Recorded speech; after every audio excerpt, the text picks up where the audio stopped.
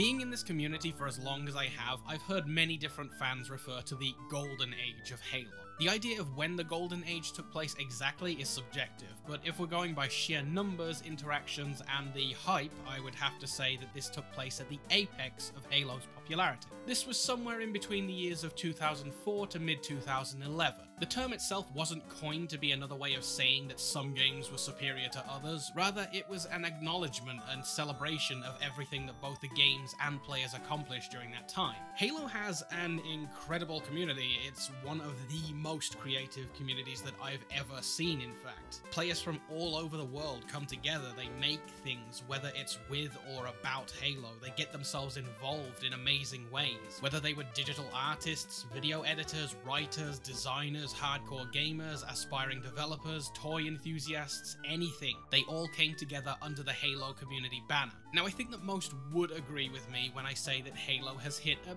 bit of a slump in the last few years. I mean, sure enough, it's but it clearly hasn't reached the heights that it once did. But honestly, I'm thinking with recent developments and how the gaming scene has evolved over the last decade that Halo really has the potential to get a huge resurgence and interest and hype, and I would like to talk about why. Covenant! Some may disagree with me here, but it is my strong opinion that if Halo wants to get some serious attention in the coming weeks and kickstart 2020, 343 need to utilize and merge their current biggest hype piece with something just as important. And since the current hype piece is the re-release of Halo Reach on both Xbox and PC, obviously a multiplayer game, then what better way to utilize and maximize that hype than to partner up with several highly influential people streaming the game on or shortly before December the 3rd. They're called influencers for a reason. This is not new. This is something that every publisher knows. Let them do their jobs. Let them potentially influence their audiences of hundreds of thousands to bring players both old and new and welcome them to Reach and by extension Halo. Getting a stream set up these days is crazy easy in comparison to what it was like years ago. And it's made even easier thanks to things like Streamlabs and OBS as well as platforms like Twitch, Mixer and yeah, those two. The boost that could be given by well-known streamers and their audiences trying to join in on the fun could be a good jolt to the series. And let's say you're not even a well-known streamer, you'd still be contributing to the boost just by being another active channel in the roster. Whether you've got 5 followers or 500,000 followers, streaming the game is going to help. And that's not to say that simply launching the game won't have this effect, uh, they're, they're definitely going to get a lot of people. There's, there's been a lot of people already buying this game on Steam, but all I'm saying is that any kind of boost is going to help out, and any kind of boost that's given from large communities and streamers cannot hurt unless the servers die as a result of those people trying to play with their... Yeah. Gee, I hope the servers don't die. Your nobility has blinded you, as ever.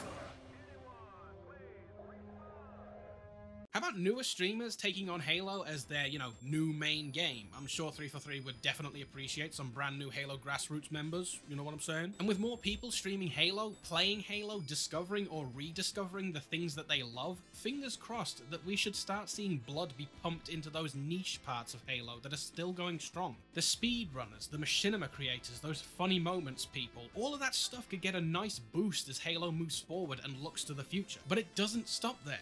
What about more content from new faces? I'm seeing mod showcases for things like patches, graphical updates, model swapping. If I want to play Halo Goddamn Reach as a goddamn grunt, then that is my goddamn right. But thinking beyond Reach and everything that it could potentially do for Halo. Because after Reach, we still have five more titles to go with Halo Combat Evolved Anniversary, Halo 2 Anniversary, Halo 3, Halo 3 ODST, and Halo 4. And let's assume, let's assume for one moment that the rest of these games, on top of being ported to PC, also get some quality of life tune-ups like armor customization where applicable, various patches, and additions to their respective sandboxes. With both of these updates releasing simultaneously for both Xbox and PC, I really believe that this would be going above and beyond of what was originally expected of the Master Chief Collection, and anybody interested in Halo should definitely consider viewing the MCC in a different light. But it's not all about the MCC.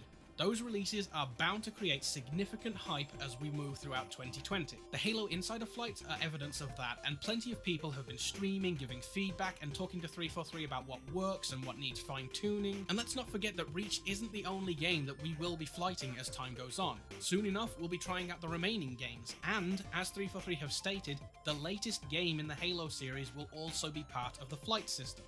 Halo Infinite. Obviously, I'm still cautious about what to expect from this game, but with everything happening to the MCC, that caution is cooling off just a bit to allow myself some hype at the possibilities. To ensure success, the game absolutely needs to be knockout at launch, so no missing pieces of content like Forge and staple game types like Big Team or Infection, even if this means delaying the game by a little. But even before release, 343 have made it a very clear thing that Halo Infinite will have opt-in flights to help out with development. And just as a PSA, if you have not signed up to the Halo Insider flights, I want you to go and do that right now because not only is it fun, it's also helpful so please do it if you got the time. There will be a link in the description. Along with those flights, there will be hype, there will be streams, there will be videos. 2020 is going to be an insane year for Halo due to the sheer amount of content. Since Halo 5 finished with the updates, it's been really tough to feel anything for Halo, and I'm sure some of my friends and indeed some of you could agree that it felt like a really tough drip feed for a while, especially prior to the Reach flights and the MCC relaunch. So let's just hope that this whole thing is going to be worth it. You're unfit for nipple! That was dumb. Not smart. So this is going to be different, but a constant fear that I've had ever since I started with these commentary videos was that I was going to be called a shill or any number of insults for having the opinions that I do. And there have been a few people, I'm not going to lie, there have been a few.